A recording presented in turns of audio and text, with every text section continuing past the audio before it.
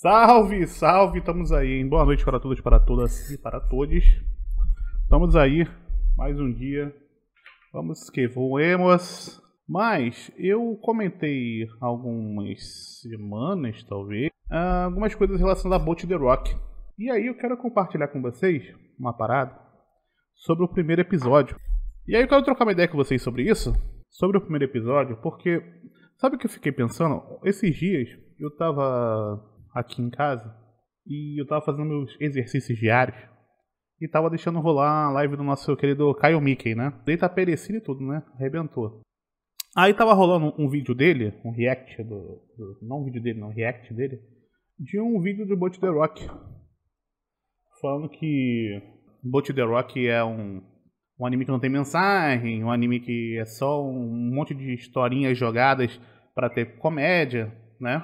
E aí, eu já tava pensando nisso, já, tinha visto o episódio mais de uma vez e tal, o primeiro episódio. Porque eu tinha, a minha ideia fazer o vídeo pro Socos Normais, mas não tenho tempo. Vocês estão percebendo.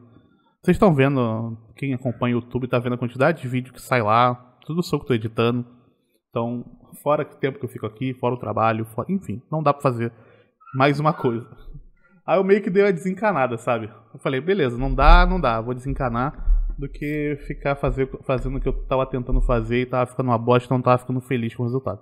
Aí eu dei uma desencanada, ok. Aí toda essa volta que tô dando é pra gente trocar uma ideia sobre três coisas muito importantes que tem em Boat The Rock. Que a, a, primeira coisa, é pra, antes da, antes da gente assistir, a gente pensar nessas coisas no primeiro episódio, né? A primeira, a primeira coisa é essa questão bote, né? Essa questão das pessoas solitárias, né? Que é um termo utilizado.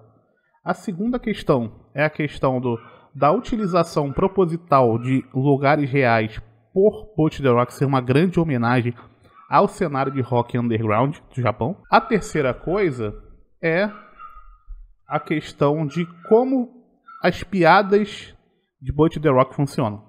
Que boa parte delas não funciona sem a música. E é muito engraçado do porquê falar que Boat The Rock é um, é um anime menos de música porque ele tem poucas apresentações, quando boa parte das piadas dele só funcionam porque ele utiliza muito da música.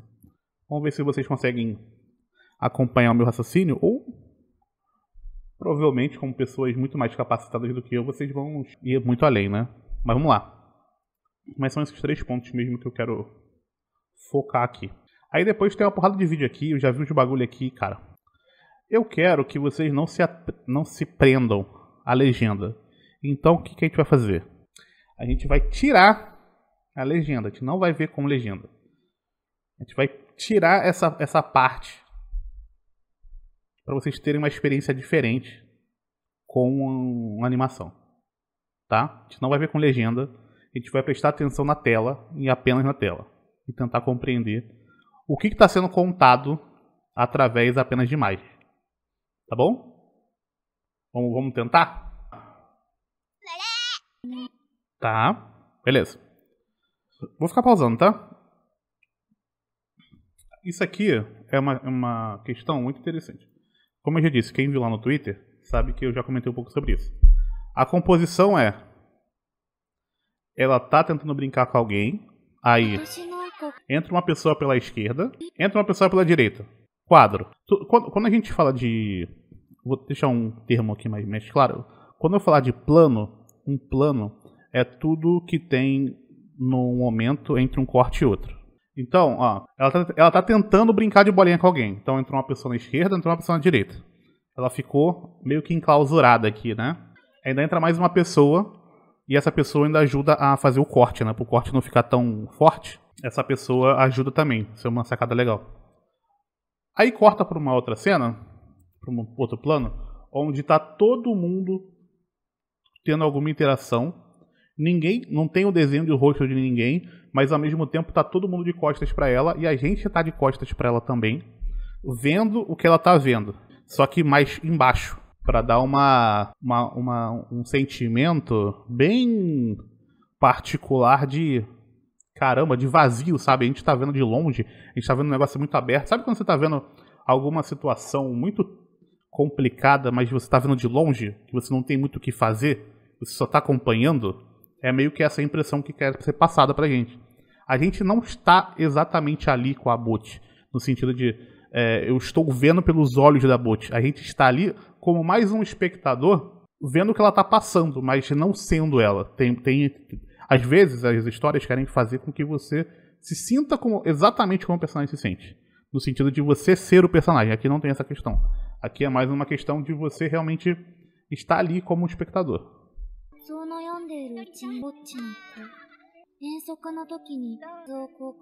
Aqui é, reforça a ideia. Isso aqui já se passaram alguns anos. Ela ainda continua só com a professora, que foi a professora que tirou ela daquele lugar. É como se a professora tirasse ela dessa, dessa, dessa condição, puxando ela para o lado, tirando ela da cena, né? tirando ela do enquadramento. Mas ela não tirou exatamente dessa situação, ela só foi alguém que ajudou ela, mas ela continua naquele, naquele local, de certa forma, mas ela tem alguém com ela, mas é a professora, não é exatamente quem ela queria. Aí essa ideia dá de que ela passou todo o jardim dela de infância sozinha, com a professora. E aí você vê que tem vários amigos aqui, da colegas da classe, no mesmo lugar que ela, mas está todo mundo de costas para ela. Nunca, nunca as pessoas estão de frente para ela. Então, no, tipo, a gente não sabe qual é a língua que está sendo falada aqui, tá ligado? Mas você entende visualmente o que está rolando. Aí aqui é uma sacada também que é meio padrão, mas é uma sacada muito legal porque vai. Eu não vou dar muito spoiler do último episódio, porque quem viu, que viu. Mas tem essa, o tênisinho dela, né? E aí já vai cortar para uma outra época na vida dela e o tênis já tá muito gasto. Ou seja, já se passaram muitos anos e ela continua sendo uma pessoa que que não tem muita relação, tá ligado? Então meio que assim, a gente viu 39 segundos de anime. Com 39 segundos de anime, a gente já, já compreendeu a história dessa personagem durante todo o período dela na escola primária, vamos dizer assim. Ela foi uma pessoa que não teve qualquer tipo de interação com ninguém. Ao mesmo tempo que mostrou que ela queria ter. Então, é, é diferente você ter alguma coisa, uma questão que não te deixa ter relação com alguém. Ela não conseguia, ela queria ter uma relação com, com, com os outros, mas aconteciam acontecendo coisas que ela não sabia lidar bem com aquilo e que se criava é, questões onde ela não conseguia mais gerar vínculos com, com esses colegas. Então, meio que em 39 segundos, dizer que Bot The Rock vai ser uma história que é só para ficar brincando com ceninhas é um pouco insensível no mínimo, porque, porra, isso que a gente viu é muito pesado, tá ligado? E é uma, uma quantidade de pessoas bem substancial no Japão. Muitas pessoas se, se, se veem, conseguem se enxergar nisso, né? Tanto o lance dos Hikikomores e tal. Então, assim, isso aqui já tá dizendo muita coisa sobre o que a gente vai, vai poder assistir. É bem interessante. Acho muito legal isso aqui, ó. Porque quase todos os planos no início eles são meio baixos, sabe? Para mostrar que ela tá numa situação meio complicada, né? Aí, na primeira vez que ela vai ter realmente uma ação, a gente vê em três partes, né? Esse, esse plano aqui que pega na cintura. Vai ter, na verdade, mais um, na verdade, né? Vai ter esse primeiro plano aqui, aí vai ter um primeiríssimo plano no olho. Tipo, aquilo tá realmente. O que ela tá vendo ali, e antes o, o cara falou, e aquilo que ela tá vendo tá mexendo muito com ela. E aí quando ela vai ter uma ação, tem essa, tem essa cena aqui, que é uma cena com um enquadramento um pouco diferente do, do, do padrão. Porque é bem proposital, porque a ideia aqui mostrar que ela vai ter algum tipo de atitude, sabe? As coisas não estão tão certinhas, tá tudo um pouco, um pouco torto, sabe? Tá um pouco pro lado. Isso é proposital porque quer mostrar que ela tá tomando uma atitude, isso é uma coisa diferente do que ela fazia anteriormente, sabe? Então, é bem interessante isso aqui. Essa, essa decisão aqui. E aqui é uma coisinha bem tico-tico, que vai ser muito importante pra obra que é isso aqui, ó. Ela toma uma ação, tá ligado? Ela toma uma ação. A, a Bot. Aí logo depois corta pra família toda dela. Meio que mostrando que a família dela assistiu a obra toda vai sacar, a família dela não, não vai ser tão participante no que ela tá fazendo, mas também não vai ser, não vai colocar nenhum tipo de empecilho no que ela faz. Ou, e quando precisar de ajuda, ela vai ter ajuda. Então, meio que para mostrar que a família dela está com ela, tá ligado? Esse enquadramento aqui. É bem legal. Inclusive, a bot realmente foi feita para isso, né? Porque na primeira vez que você pega um instrumento, a guitarra, e consegue fazer um acorde de primeira, não tá perfeito. Mas conseguir fazer, ainda mais que essa cordinha de guitarra, que machuca o dedo pra caralho. Eu achei isso muito engraçado quando eu tava assistindo, porque aqui é uma promessa de uma piada. Isso aqui é uma promessa de uma piada. Esse enquadramento aqui, do estilo Enka, vocês estão ligados no estilo Enka? Que era muito utilizado também pelas geixas, né? Vocês vão ficar ligados. É isso aqui, ó. A, a, a, piada que vai ter é, é, é, é, em cima disso aqui. Por que, que eu falo que vai ter, vai ser a promessa? Porque ela começou a tocar aqui, aí vai ter essa, esse corte e vai ter a abertura. Vai ter a abertura, beleza? Aqui, ó. Aí quando começar, já vai começar em cima da piada, tá ligado? Tá vendo o barulho? É, parece. É, remete ao som do Shamin Sen, mas. Não é, uma, é só uma guitarra mesmo sem. Não sei se vocês já tiveram curiosidade pra ir atrás das referências do, do But The Rock, mas uma, uma das mais claras, além das bandas aqui, é o nome das personagens, né? Que é o nome dos personagens, que é o nome dos, dos cantores do Asian Kung Fu Generation, né? Tipo, Goto, que é o nome dela, né? É o nome do vocalista do Asian Kung Fu Generation. É, quem já, já jogou Visual Novel? Isso aqui é muito música de Visual Novel, tá ligado? Não precisa nem ter jogado muito Visual Novel. Tipo, eu não joguei muito. Só joguei uma, na verdade. Mas quem já viu algum, algumas, tá ligado que isso é música de Visual Novel. Vai passar um pouco e ela vai ficar toda animada e vai dizer: Ah, não, agora eu vou pegar a minha guitarra e vou fazer amigos com a minha guitarra. E aí ela coloca um monte de adereços aqui no braço, né? Pra mostrar que ela vai ficar muito legal. Inclusive aqui, ó. Tem um cara que. que ela vai ver no parque depois. Eu acho impressionante as pessoas assistirem as coisas que custam milhões e achar que as coisas são feitas numa casa, tá ligado? Achar que cada coisinha não tem algum sentido, sabe? Por mais que essa indústria passe por por momentos muito complicados e o pessoal não consegue entregar e tal, mas a gente tá falando de, cara, coisas que custam milhões, tá ligado? E ó, claro que tem, vão ter obras e obras em relação à qualidade e tem várias coisas que vão impactar nessa qualidade, não só a habilidade das pessoas, mas também diversos outros fatores que estão aquém das, das próprias pessoas que estão produzindo, né? Aí quando você consegue ver algo como Boot The Rock, que consegue conversar com você tanto com uma maneira assim tão inventiva, é chato. Cara, uma coisa é você ser leigo, outra coisa é você assistir uma coisa e dizer: "Ah, não, isso aqui é só uma historinha para ficar fazendo piada". Tipo, teve duas piadas no primeiro episódio em sete minutos. Não é sobre piada. Nem se fosse nada é piada pela piada. E eu tirei a legenda exatamente pra gente conseguir prestar atenção no que a gente tá vendo. Porque a, a legenda tira muito da gente. É uma, uma das maiores mentiras pra mim que existe é esse negócio, não, eu, eu consigo prestar atenção 100% com legenda e na tela. Mentira, você tá mentindo para você mesmo. Você tá, quando você tá lendo alguma coisa, você tem que estar tá focado, seu olho tá focado na porra do texto. É uma questão fisiológica, você não consegue. Aqui vai se repetir a mesma coisa. Vão ficar aparecendo as pessoas. E, tipo, tem uma coisa legal. Quando ela entra, ela entra, tipo, com a blusa aberta. E os caralho, ela quer se mostrar, tá ligado? E conforme o tempo vai passando, ela vai se escondendo cada vez mais. A, a, a ideia sempre vai se repetir, né? Tipo, não tem ninguém virado pra. Tipo, olhando pra ela. Tendo qualquer contato visual com ela, tá ligado?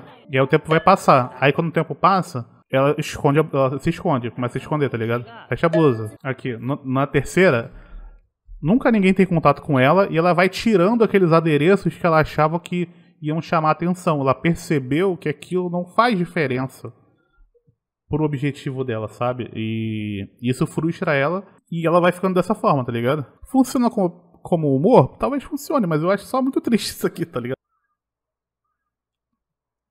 Aqui vai ter questões também relacionadas a essa questão de distância e como isso vai ser quebrado.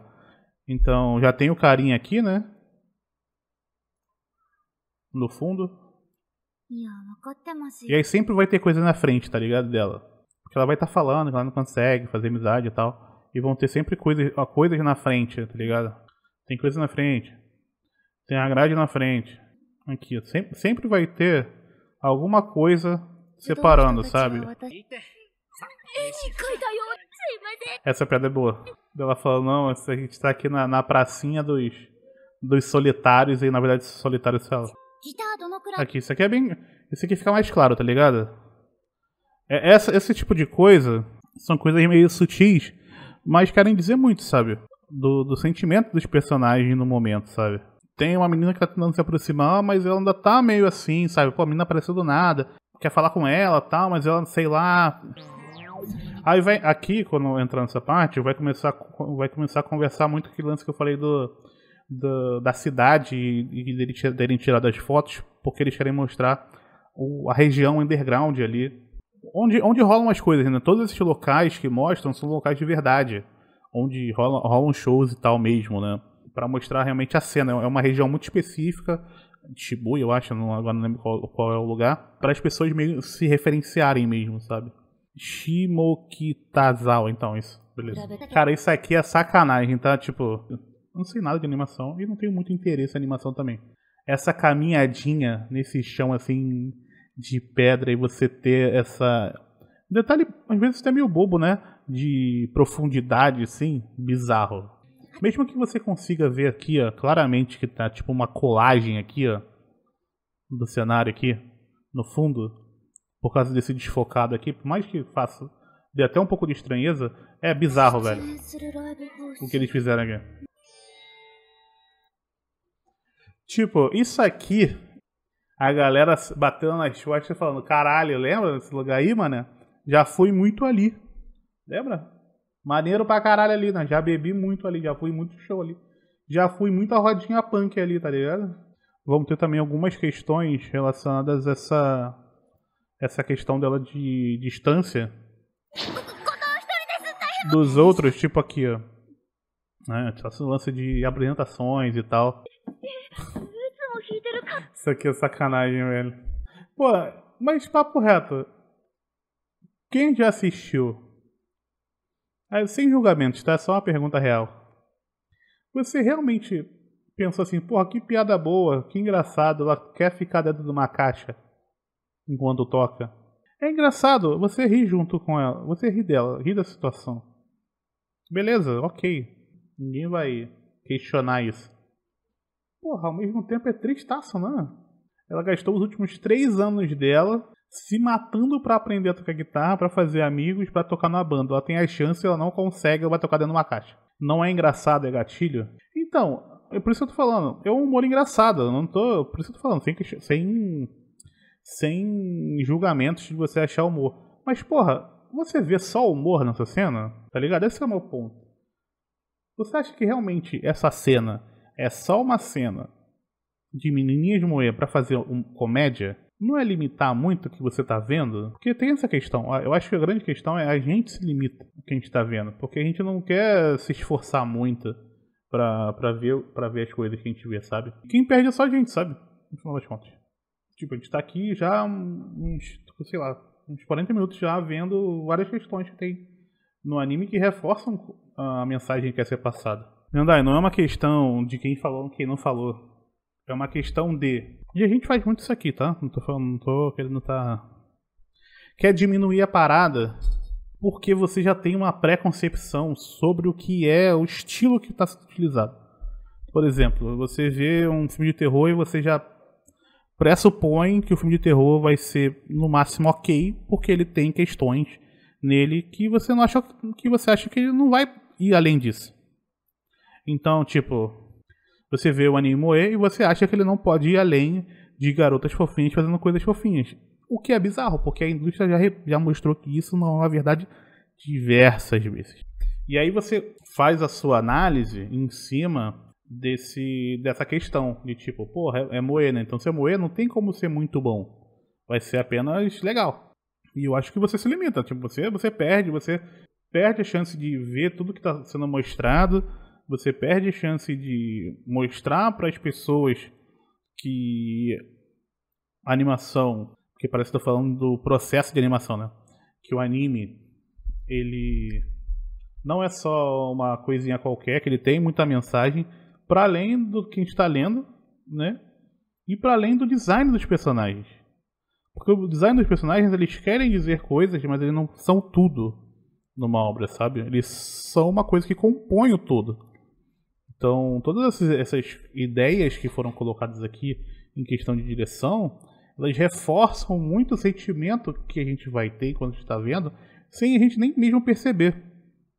Não é só o momento da Butch batendo a cabeça no chão que faz com que as pessoas fiquem, nossa, olha só como ela é solitária, né? É toda essa composição que foi feita, tudo que foi pensado para você ter esse sentimento. E isso é muito legal, eu acho que é isso que faz a diferença. E acho que é isso que faz a gente gostar do que a gente gosta, sabe?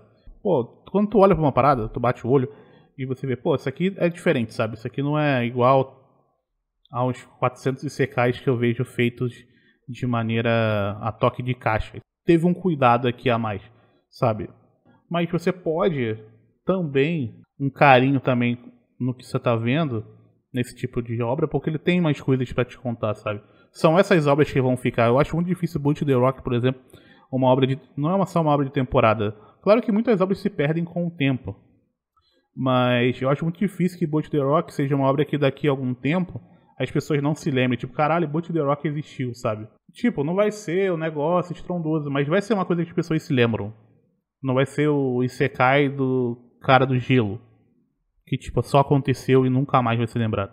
Nessa nossa vivência aí de um milhão de animes por ano, é, acontece com três, quatro. Se você quer ter a vivência maneira mesmo da, do que essa indústria pode produzir de relevante é, são essas obras, né? Não estou falando de uma pessoa em específico, estou falando que a ideia, a ideia em si não é boa. Foda-se a pessoa que falou, tá ligado? Vocês têm que parar um pouco com isso também. Tipo, ah, foi tal pessoa que falou, blá blá blá, não gosto dele.